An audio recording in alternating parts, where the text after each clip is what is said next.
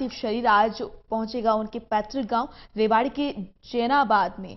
है शहीद अजय का पैतृक गाँव। बड़ी खबर इस वक्त की, शहीद अजय को पूरे राजकीय सम्मान के साथ अंतिम विदाई दी जाएगी। पुलवामा के अवंतीपुरा में कार ब्लास्ट के दौरान शहीद हुए थे।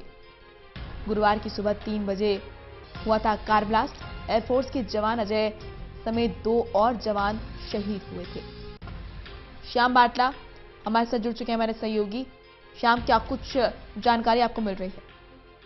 जी मोनिका देखिए आपको बताना चाहूँगा कि कल सुबह सवेरे तीन बजे के करीब जो अजय है एयरफोर्स का जवान है अपने एक अधिकारी के साथ निजी कार में जा रहा था और तभी अचानक एक ब्लास्ट हुआ। ये पूरा का पूरा मामला पुलवामा के अवंतीपोरा का है। और उस ब्लास्ट के अंदर वो अधिकारी जो उनके साथ थे नाम बताया जा रहा है, राकेश पांडे और अजय, जो कि रेवाड़ी के गाँव जैनाबाद के रहने वाले हैं। इन दोनों का दोनों जो है उस ब्लास्ट के अंदर शहीद हो गए और अजय का जो पार्थिव शरीर है, वो लगभग एक से डेढ़ बजे के करीब उनके पैतृक गाँव में पहुंचेगा, जहाँ पूरे राजकीय सम्मान के साथ उनकी अंत्येष्टि की जाएगी। जी जी। बिल्कुल, क्या कुछ तैयारियाँ आप देख पा रहे हैं शाम वहाँ पर उनके पैतृक गाँव में? क्योंकि ज़ाहिर सी बात है कि पूरे राज्य के सम्मान के साथ उनको अंतिम विदाई दी जाएगी। तो जो गाँव है पूरा, किस तरह से इंतज़ार कर रहा है अपने शहीद जवान का?